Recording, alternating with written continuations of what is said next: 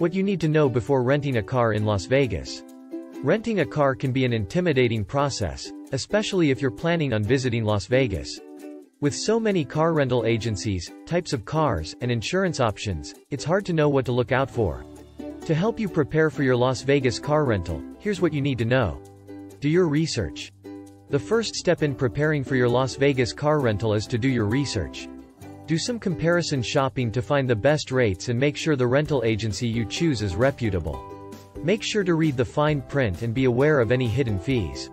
Also, be sure to confirm whether your current car insurance will cover your rental car. You can use claviscar.com to compare the prices of all rental companies. Choose your vehicle. When renting a car in Las Vegas, you have a variety of options. You can choose from economy cars, luxury cars, SUVs, and more. The type of vehicle you choose should depend on how many people you'll be traveling with, as well as how much luggage you'll be bringing. If you're planning on taking a road trip, you might want to rent an SUV or minivan. Know the age requirements. If you're under the age of 25, you may not be able to rent a car in Las Vegas. Most rental agencies have an age requirement of 25 or older. Additionally, some rental agencies may require you to have a valid driver's license and a major credit card. Understand the insurance options.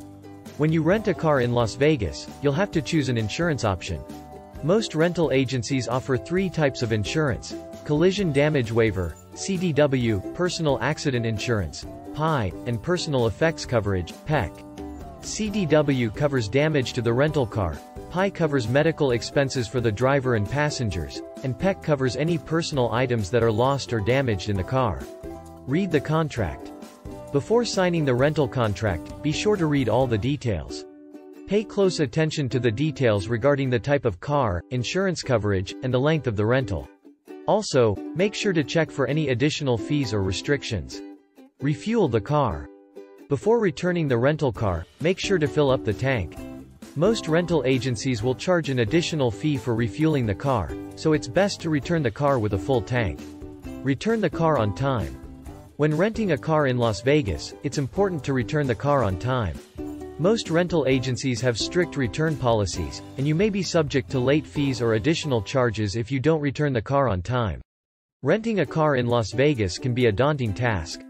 But by doing your research, understanding the insurance options, and returning the car on time, you'll be able to make the most of your car rental experience. Good luck, and have a great trip. Thanks for watching.